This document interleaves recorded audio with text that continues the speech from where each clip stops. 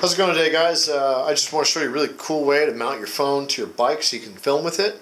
Um, this guy right here is called the Velocity Clip and the cool thing about it is you can mount it to your bike, uh, your chest, your helmet with the phone in your pocket and you can start filming from really cool angles with just the phone in your pocket. So, you know, your camera's already got, you know, your phone's already got an HD camera so you may as well utilize it. Um, cool thing here is once the phone is in the Velocity Clip you can see it's never going to fall out. It's totally secure.